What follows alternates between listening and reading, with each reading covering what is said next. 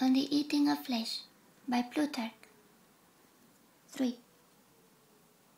It is certainly not lions and wolves that we eat out of self-defense. On the contrary, we ignore this and slaughter harmless, tame creatures without stings or teeth to harm us. Creatures that I swear nature appears to have produced for the sake of their beauty and grace. It is as though one, seeing the Nile overflow its banks, filling the landscape with its fertile and productive stream, should not marvel at this. Its nourishing of plants and its fruitfulness in such crops as are most to be cultivated and contribute most to the support of life, but should spy a crocodile swimming there somewhere, or an asp being swept along, or a thousand other savage creatures, and should cite them as the reasons for his censure and his compulsion to do as he does.